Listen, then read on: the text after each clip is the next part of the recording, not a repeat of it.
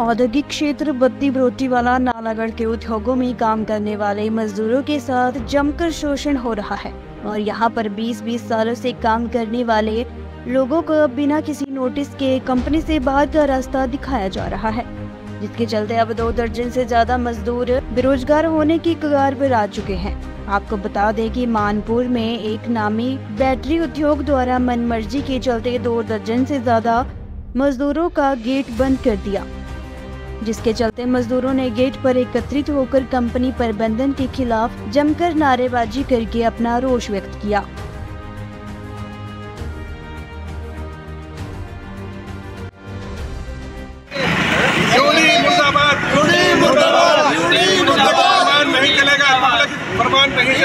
नहीं चलेगा नहीं चलेगा। नहीं चलेगी नहीं चलेगी। नहीं चलेगी। नहीं चलेगी।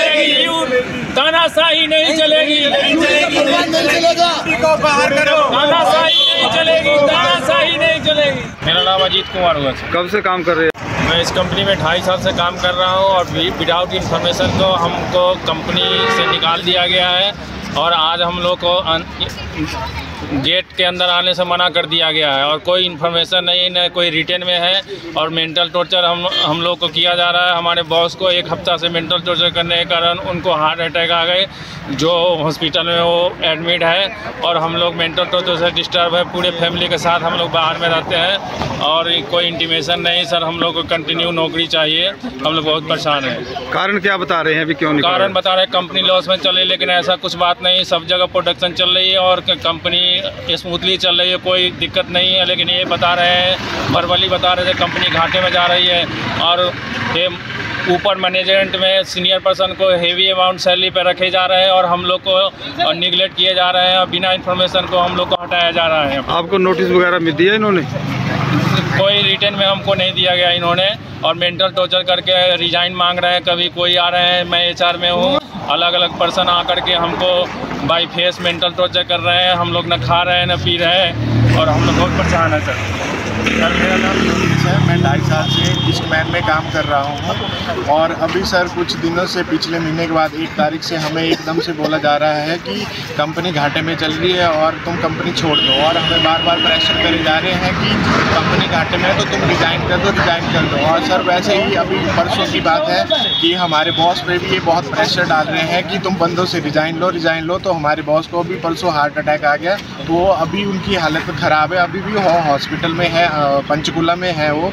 तो और सर, ऐसे ही कंपनी की तीन प्लांट है कंपनी के और छः बार साइटें चल रही है कंपनी की थर्ड पार्टी के ऊपर। तो हर साइड से बंदों को निकाल रहे हैं सर ये और बोल रहे हैं कि कंपनी घाटे में ना हमें कोई नोटिस दिया कि यहाँ पर जाओ बोल रहे हैं कि तुम कंपनी छोड़ दो। और जब हमें हायर किया था तो ऐसा बोला नहीं था। बोला था कि तुम दस साल से भी ज़्यादा की सर्विस आगे करोगे अट्ठावन साल तक का हमें टाइम था जो हमारे उस लेटर में लिखा गया कि अट्ठावन साल तक आपकी सर्विस चलेगी।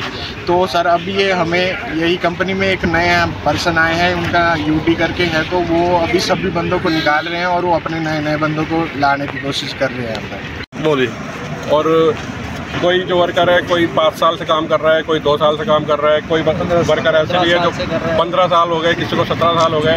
और अभी जो है एक बड़ी पोस्ट पे कोई पर्सन आए हैं यूडी करके और उन्होंने आते ही जो है कंपनी में परफॉर्मेंस आते ही एक चीज़ जो है निकाल दिया कि जितने भी पुराने एम्प्लॉई हैं उनको सबको कम से कम दो सौ ढाई सौ बंदे हैं उनको वो बाहर कर रहे हैं।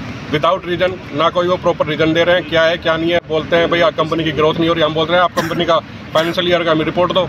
अगर अगर आपको कोई दिक्कत है तो ना कोई इंटीमेशन दिया है ना कोई हमें रिटर्न में दिया है। दिया सीधे एक दिन पहले बता दिया कि कल से आप बताओ आपका गेट बंद है तो ये तो सर कोई रीज़न हुआ नहीं है। इस तरह अगर वो बता रहे हैं तो हमें बाकी जो भी है सब यहाँ पे चले कई कई सालों से हमारे जो बॉस थे उनके ऊपर मेंटली प्रेशर दिया गया है।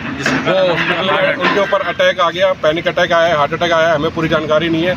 उनको दो दिन हो गए हैं हॉस्पिटल में एडमिट है वो पंचकुला के अंदर। अब क्या चाहते हैं आप? सर हम चाहते हैं सारे बंदों की नौकरी बनी रहे। हम रिजाइन नहीं देंगे वो हमसे बोल रहे हैं प्रेशर कर रहे हैं हमारे ऊपर कि आप रिजाइन दो। हम लोग हम लोगों को नौकरी चाहिए सबके परिवार है सबके बच्चे हैं तो हम लोग कहाँ जाएँगे? अब आप लोगों ने इनकी कुछ कहीं शिकायत की है? श्रम विभाग नहीं सर अभी नहीं सर अभी हमने ऐसा कुछ नहीं किया हम थाने गए थे तो उन्होंने हमें सुझाव दिया कि आप लेबर कोर्ट में जाके अपनी कंप्लेंट दर्ज कराएँगे तो अभी हम अगला जो हमारा स्टाफ है वो लेबर कोर्ट में जाने का है। अजमेर से मैं पंद्रह साल से स्टूडेंट में काम कर रहा हूँ। और अभी एक एकदम इन्होंने हमारे को बोला कि आप रिजाइन दे दो। हमें इतना टाइम हो गया हम अभी कहाँ जाएँगे रिजाइन दे और रोज़ हमारे को रिजाइन देने के लिए बोल रहे हैं। कहाँ से आप हिमाचल से रहने वाले? मैं कांगड़ा से हूँ। सर ये जो कर्मचारी आए थे ईस्टमैन के इनका आरोप है कि कंपनी इनके साथ ज़बरदस्ती करती है प्रेशराइज करके इनको नौकरी से निकाल रही है। तो इस बारे में क्या कहना है आपका? हाँ मेरे पास अब सताईस वर्कर आए थे, जो ईस्टमैन कंपनी मानपुरा में काम करते हैं। ये बता रहे हैं कि उनको मैनेजमेंट ने नौकरी से निकाल दिया है। और कारण ये बता रहे हैं कि काम की कमी है, जिस कारण से आगे उनको कंटिन्यू नहीं कर सकते। लेकिन मेरे पास जब वर्कर की बातचीत हुई तो वे कह रहे हैं कि काम की कोई कमी नहीं है। मैनेजमेंट में कोई ऐसे अधिकारी आ रहे हैं जो अपनी टीम लाना चाहते हैं और इस कारण से उनको नौकरी से निकाल रहे हैं। खैर, मैंने जो वर्कर को उचित गाइडेंस दे दी है, उनको कहा है कि एक मांग पत्र के माध्यम से अपनी मांग अपने नियोक्ता से उठाएँ और उसकी एक कॉपी श्रम अधिकारी, श्रम निरीक्षक को नालागढ़ को दें ताकि एज पर लॉ जो है उसमें कार्रवाई की जा सके। मैंने 16 फरवरी 2024 को इसकी कंसलिएशन समझौता वार्ता जो है निश्चित की हुई है। तो उस दिन बातचीत से समस्या का समाधान करने का प्रयास करेंगे। सर, अगर देखा जाए कंपनियों में इस तरह के आरोप लगते रहते हैं भी कंपनी अपनी मनमाजी मनमर्जी करती है तो ये उनका बोला है कि हमें बिना नोटिस के, बिना कुछ बताए, जब हम शाम को ड्यूटी जाते हैं और सुबह हमें हमारा गेट बंद होता है तो इस बारे में क्या कहना है कि सरकार की तरफ़ से क्या इसमें जो औद्योगिक विवाद अधिनियम उन्नीस सौ सैंतालीस है, उसके अनुसार ही हम कार्रवाई कर सकते हैं। इसमें धारा 25 एफ़ पे जो अगर इंडस्ट्री डिस्प्यूट एक्ट की धारा 25 एक्ट में वर्कर अगर उसको निकाला जाता है इमीडिएटली तो उसके लाभ लिखित हैं। लेकिन अगर वर्कर को बिना किसी कारण के निकालते हैं, उसका कोई कारण नहीं डोमेस्टिक इंक्वायरी के बिना उनको निकालते हैं तो गलत है। तो इस बात में जो इस विवाद में हम कार्रवाई करेंगे, उचित अगर कोई समाधान नहीं निकला तो उसको, उसकी एक रिपोर्ट हम सक्षम सरकार को भेज देंगे। उसके बाद जो शिकायत करता है या जो वर्कर है, उनका विवाद जो है, श्रम न्यायालय में सुना जाएगा, जहाँ पर उनके साथ उचित न्याय होगा।